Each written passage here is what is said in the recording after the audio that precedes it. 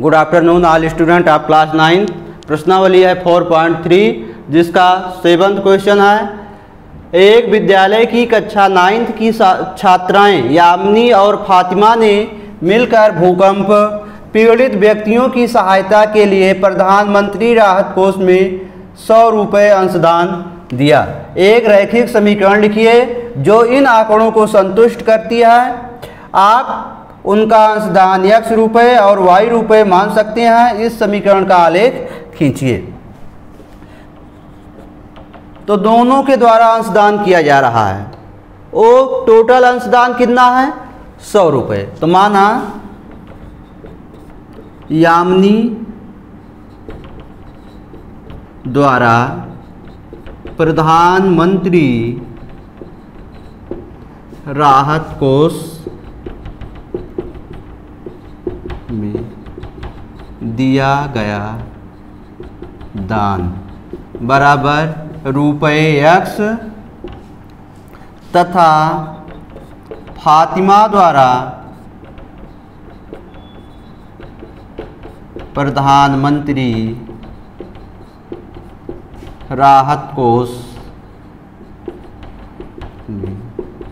दिया गया दान बराबर रुपये वाई तो हमने माना यामिनी द्वारा प्रधानमंत्री राहत कोष में दिया गया दान रुपये एक्स और फातिमा द्वारा प्रधानमंत्री राहत कोष में दिया गया दान रुपये वाई अब ये टोटल रुपये कितना दिया जा रहा है? यक्स रुपए। दोनों को मिलाकर फातिमा द्वारा दिया गया और यामिनी द्वारा दिया गया दान। दोनों का योग कितना है? यक्स रुपये ओ, कितना है? सौ रुपए। तो यक्स प्लस वाई बराबर सौ अब कहा जा रहा है, एक रैखिक समीकरण लिखिए तो ये रैखिक समीकरण है आपका यक्स प्लस वाई। तो रैखिक समीकरण हुआ, रैखिक समीकरण। एक्स प्लस वाई बराबर सौ रुपये इन आंकड़ों को संतुष्ट करती है, आप उनका अंशदान रुपये यक्स और वाई मान सकते हैं। इस समीकरण का आलेख खींचने के लिए।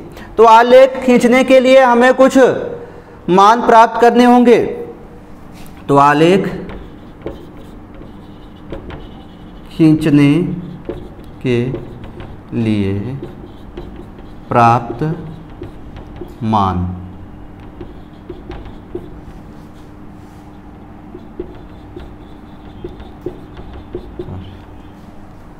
तो यक्स प्लस वाई बराबर कितना है? सौ। जब यक्स बराबर, जब एक्स बराबर ज़ीरो तो वाई बराबर कितना हो जाएगा? सौ। वाई बराबर सौ। जब एक्स का मान ज़ीरो होगा तो वाई का मान कितना प्राप्त होगा हमें सौ। और जब एक्स बराबर सौ हम लेंगे तो वाई का मान क्या हो जाएगा? ज़ीरो। तो सौ प्लस वाई तो सौ प्लस वाई बराबर सौ या वाई बराबर सौ माइनस सौ। तो ये बराबर आ जाएगा ज़ीरो। जब हमने यक्स का मान ज़ीरो माना तो वाई का मान कितना प्राप्त हुआ? सौ। और जब यक्स का मान हमने सौ माना तो वाई का मान ज़ीरो। तो यहाँ हमें प्राप्त होता है यक्स वाई जब यक्स का मान ज़ीरो है तो वाई का मान कितना आ रहा है? सौ। जब यक्स का मान सौ है तो वाई का मान ज़ीरो। अब ये दो बिंदु प्राप्त हुए। ज़ीरो कामा सौ, दूसरा है सौ कामा ज़ीरो। अब इसको हमें आलेख द्वारा निरूपित करना है।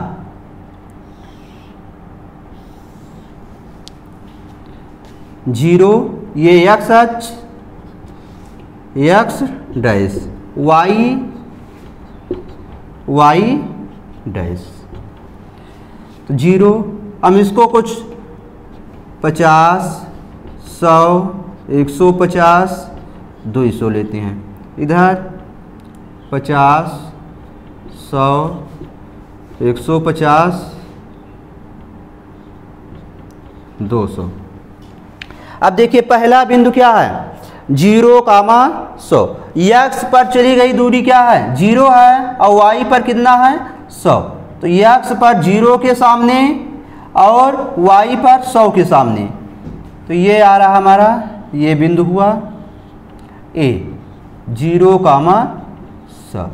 दूसरा है सौ कामा ज़ीरो। इसका मतलब यक्स पर सौ और वाई पर ज़ीरो। तो यक्स पर सौ और वाई पर क्या है?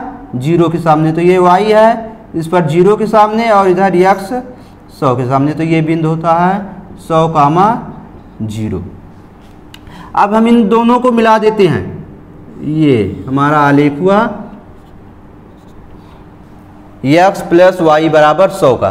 किसका? एक्स प्लस वाई बराबर सौ। ठीक? इस तरह हमें करना था। थैंक्स